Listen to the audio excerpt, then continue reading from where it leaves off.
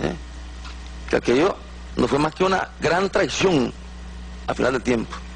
Y que ahí se han levantado esas nuevas Bastillas, se han remodelado esas nuevas Bastillas, y tenemos eh, esa dictadura global donde ustedes tienen una alianza, no solamente política y económica, sino que también militar.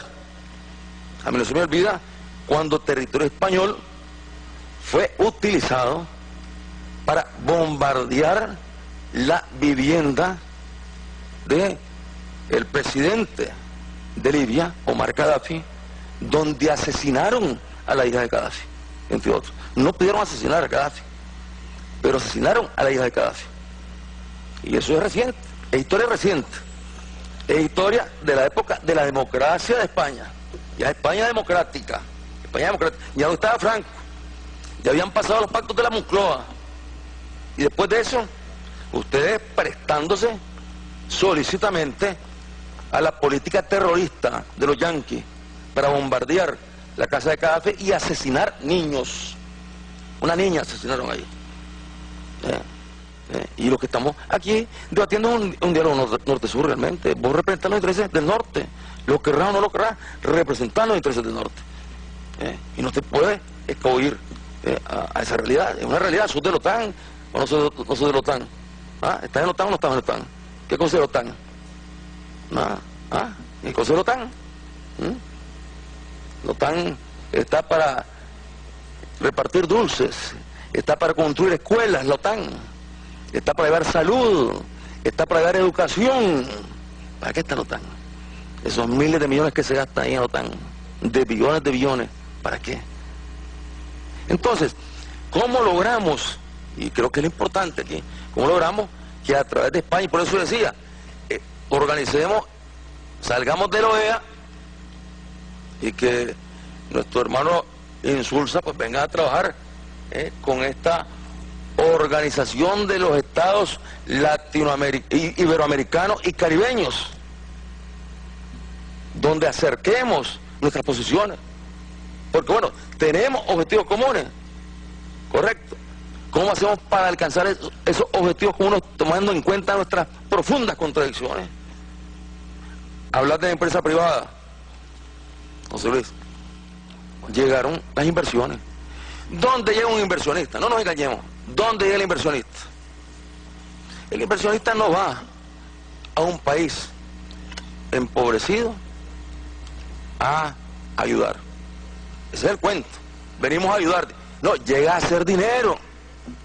Yo no, no veo a un inversionista colocando plata donde va a perder. No lo veo. El inversionista coloca plata donde va a ganar. Y donde más rápidamente pueda sacar utilidades y no para dejarlas en el país, sino para llevárselas. Esa es la historia de las inversiones de América Latina. Esa es la historia. Vino la ola privatizadora con el gobierno Pelele, con los gobiernos Pelele, que nos impusieron a partir de 1990. Entonces, ¿qué pasó? Llegaron tranquilamente telefónicas de diferentes países, eh, mexicanas, españolas, alegremente, a hacer el negocio de la vida. hacer el negocio de la vida.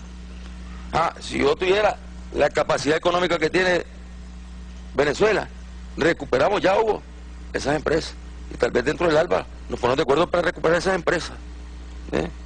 ¿Por qué? Porque si uno trata de defenderse de estos tiburones, a la vez tiene sus mecanismos de arbitraje internacional, donde ese es un pleito perdido.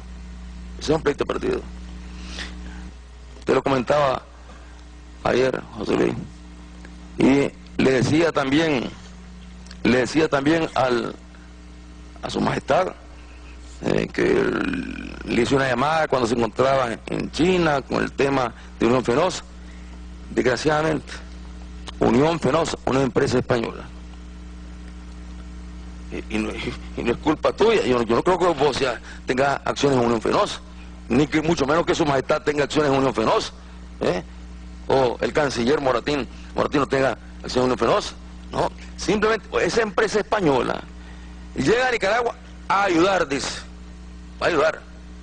Va a ayudar a que la energía llegue a todo el país. que va a controlar el precio de la energía y todo lo demás. Llegó con los gobiernos PLL.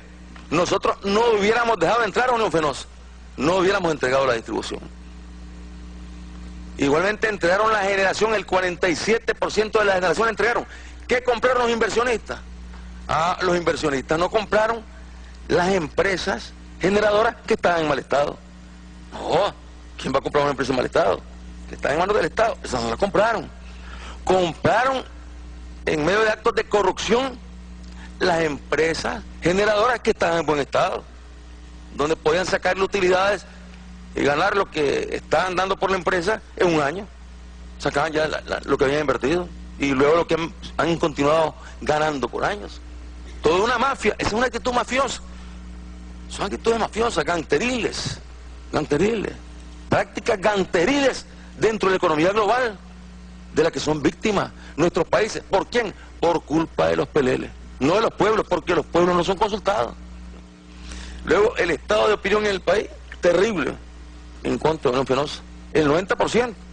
Y, y, me cuestionan y me critican porque no terminamos de asumir Unión Fenosa de una u otra forma. No quieren ver a Unión Fenosa ahí. Y, en Nicaragua nadie está diciendo que es España. Nicaragua dice que es España. Igual entiendo al presidente, igual entiendo al presidente Hugo Chávez cuando eh, reacciona frente a un ciudadano español que ejerciendo su libertad de expresión se dedica a hacer campaña en contra de Venezuela. Eh, como hay en Nicaragua también. En Nicaragua no solamente los yanquis nos han hecho la guerra, sino que también algunos embajadores españoles, y eso se lo comunicamos a ustedes en su momento, embajadores españoles, antes de las elecciones, junto con los yanquis, reuniendo en la embajada de España a la fuerza de derecha en Nicaragua para unirlas para que no triunfara el Frente Sandinista. Después que habían desfilado por Nicaragua, desde Colin Powell eh, hasta Rumsfeld, llamando al pueblo nicaragüense a no votar por el Frente Sandinista.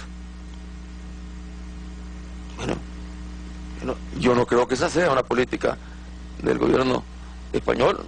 No creo, no lo creo. Pues la realidad es que lo ha hecho el embajador de España, Nicaragua, lo ha hecho. Lo ha hecho. Lo ha hecho. Lo ha hecho y es conocido allá públicamente. Y te puedo dar los nombres de quienes han estado en esas reuniones. ¿Eh? ¿Eh? Te puedo dar los nombres. Se los dimos en su momento a ustedes. ¿Eh? Esa es la realidad.